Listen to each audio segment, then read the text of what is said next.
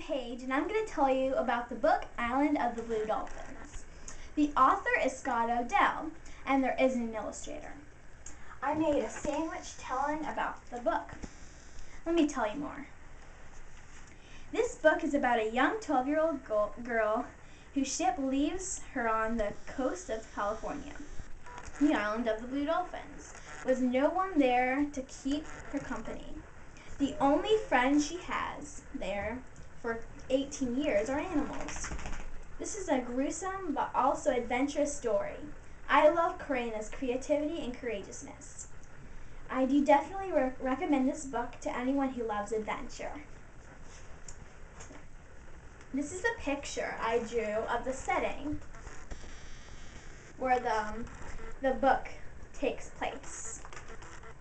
There's Karana's home. There is the wild dog's cave. I don't know why she chose to live right next to them, but there's the canoes that her um, family left behind. And there's just another hideout cave where if someone is coming, she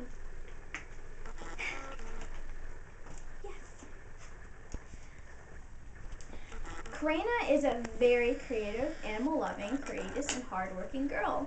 She was left on an island and stranded when she was 12, until her ship comes back for her 18 years later when she was 22. I mean 28.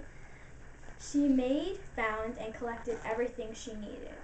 She, in my opinion, is an amazing girl.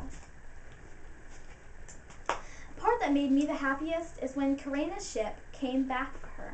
She was so happy, and it was an encouraging thing for the reader as well. I thought the ship would never come. The part that made me the saddest was when her brother died from being attacked by the wild dogs, leaving Karana alone, stranded and empty. The other part that made me sad was when she finally befriended one of the wild dogs and, and it died a couple years later. But what I thought was sweet was when um, was when Karana ship came home.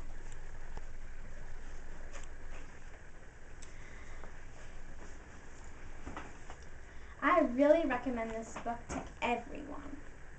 I love, love, love this book so much, even though there were some gruesome parts in it. Mm.